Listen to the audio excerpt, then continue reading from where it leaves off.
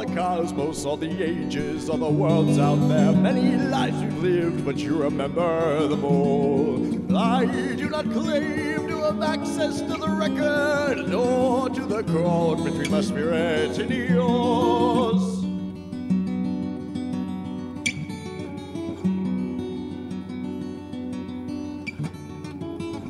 Motionless in silence, pondering nature and the God thereof. Reveal to me the mysteries of what sense and where lies beyond. Teach me the wisdom of the ancients and the masters, that I may see the existence of that of which I've never been sure.